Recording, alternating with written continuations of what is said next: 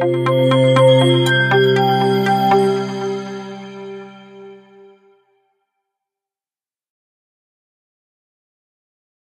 this vlog, we are going to see the implementation of Google Pay in Stripe Payment Gateway.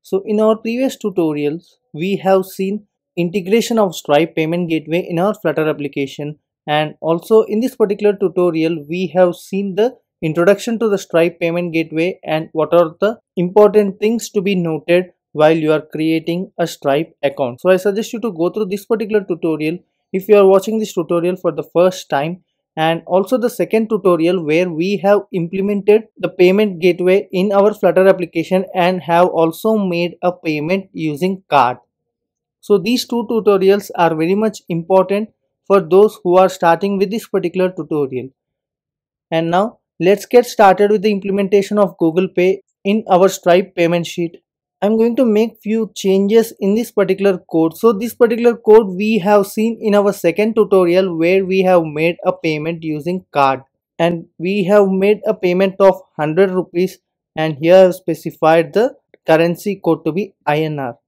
These are all the methods where we have initialized the payment sheet and tried to display the payment sheet and here we have created a payment intent. So in the previous tutorial I have clearly explained this particular code line by line so I suggest you to watch that particular tutorial if you are having any queries in this particular code. And now let's start implementing Google Pay in our Flutter application. So let's go back to our console here and here you can clearly see I have not activated my account still and we are just continuing in the test mode.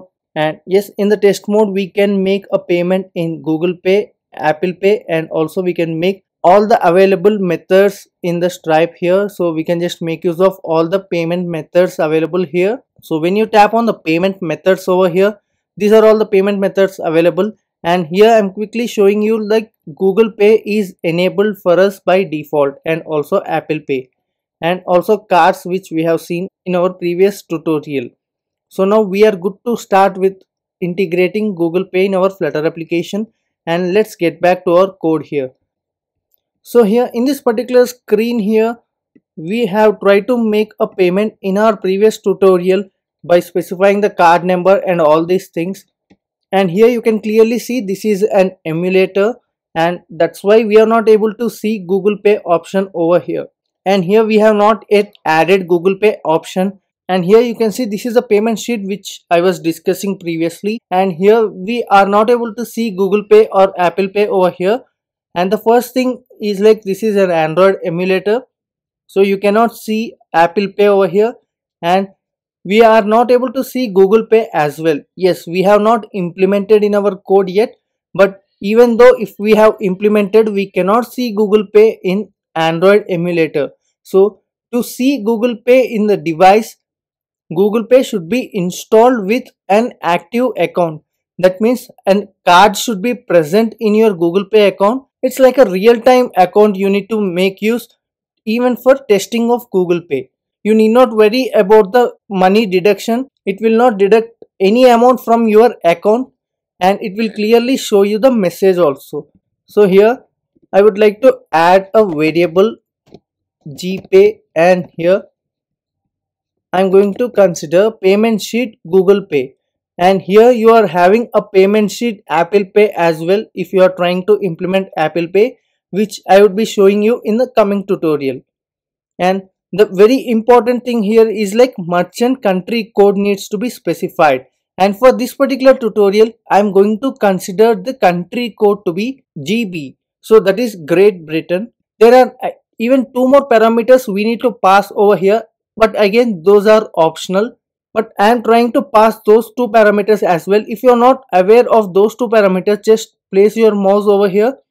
And here you can see required merchant country code. And yes we have specified it. And the second parameter is currency code here. And the third one is is it test environment? Yes. We are making use of the test environment. So we need to mark it as true over here so let us try to specify the currency code here. So currency code is GBP and environment and test environment yes. We are making use of a test environment and when you are trying to make this live make sure you make it false over here and if you go inside and try to see here by default it is false. So if you have not specified anything it will consider it like a live mode of google pay. So i'm just trying to specify it like true here. No amount from our account will be deducted. So yes we have created a payment sheet google pay here and we have specified the configuration. And i suggest you to add your currency code and country code here as per your country where you are living. So let us consider this particular gpay variable here and now we need to add this to our particular payment sheet which we have seen here. So this is a payment sheet and i just want to add google pay and here let us try to add google pay over here. We are having an option to add google pay as well to our existing payment sheet so i'm just specifying it over here. And what are all the other parameters we can add to our payment sheet here? So customer id ephemeral key secret and mainly when we see here we also have apple pay and google pay also here. And theme modes like style i have specified light here. So you can specify dark. And if you are having any queries in the other parameters just let me know in the comment section below i will try to help you with configuring them.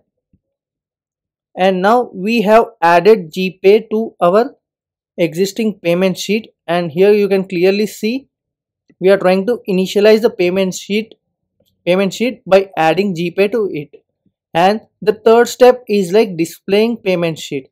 So now let's try to run this particular code and see the output.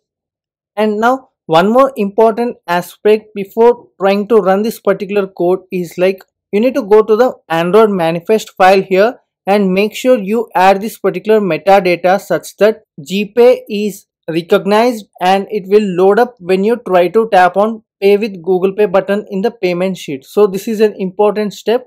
Just try to add this particular line of code and even i'm going to specify the code in the description section below and if you are having any queries you can just go through it and now let's try to run this particular code and i'm going to make use of a real-time device to run this particular code.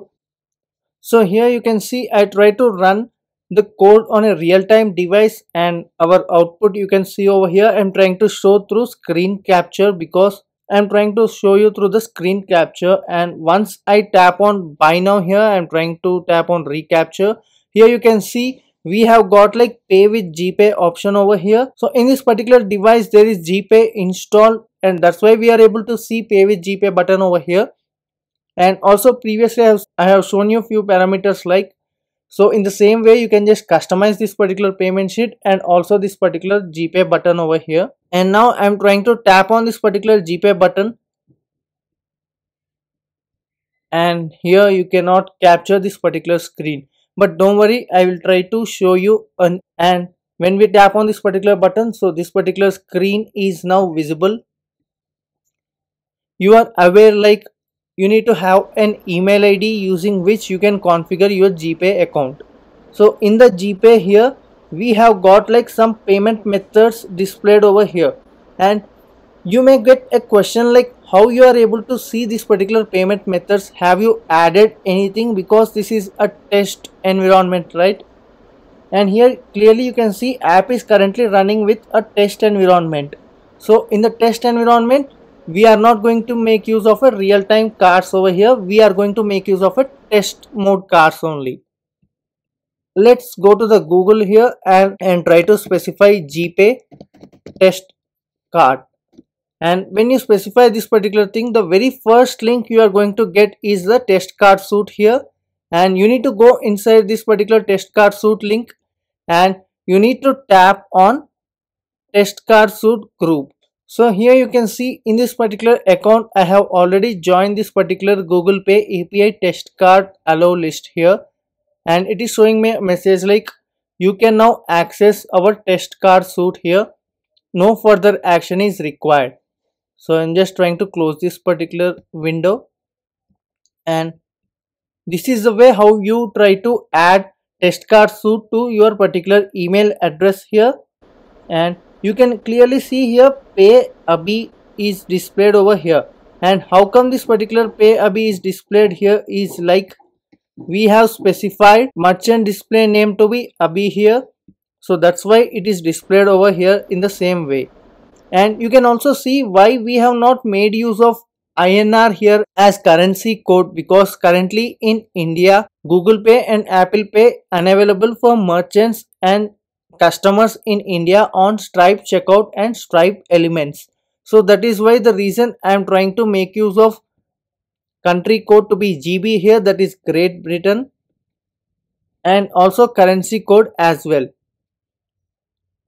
So now let's try to make a payment over here. And before making a payment let's try to move to the payments here. So in the payments you can clearly see I have previously made two payments over here. And now let's try to make another payment here. And now it's processing currently and our payment is made over here. And let's try to refresh this particular view so that you can see the payment appearing over here now. And when you tap inside you can clearly see like our payment is made successful now. And here you can see it is clearly showing like google symbol over here that is gpay and we have made use of a visa card over here. You can also tap on this particular refund button if you want to cancel this particular payment. And again in app level also you can just implement a cancel transaction just like you make in any application. So that we'll be going to see in another tutorial if you are really interested to implement in app level as well. So when you tap on refund here there is an option like reason. So i'm just selecting requested by user and tapping on refund over here. And here you can see the status is now clearly specify like this refund has been initiated and let's go back to the payments here. And from successful payments here that particular payment is now removed. And when you go to the refunded here you can clearly see that particular payment in payment section. So this is it for the implementation of google pay in your flutter application using stripe payment gateway. So i think this is very clear for you. And if you are having any queries just let me know in the comment section below. And the code for this tutorial is provided in the description section below so yes, this is it for this particular tutorial. For more interesting content on Flutter, stay subscribed to our channel.